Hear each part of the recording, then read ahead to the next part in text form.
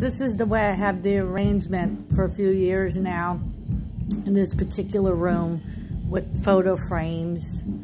As I said, I have quite a bit of photo frames, so I'm trying to, I don't know if I should rearrange it, find other spots, but this is how I have it. My babe.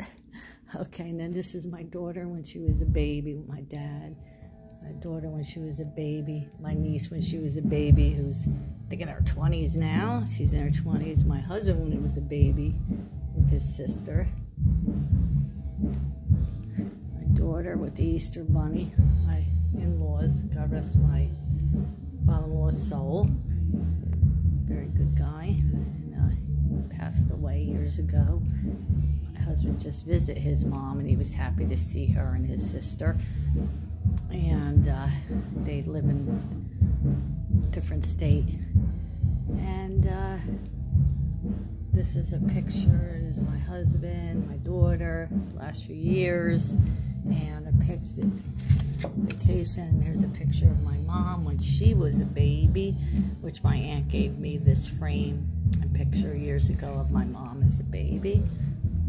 And I figured I'd just share some of those photos. Hopefully it comes out clear. But this is how I have my setup. I know someone was watching and I know they said, oh, uh, with the picture frames, I do have, uh, I think the problem is trying to find places to put the picture frames. All right, I love everybody. God bless.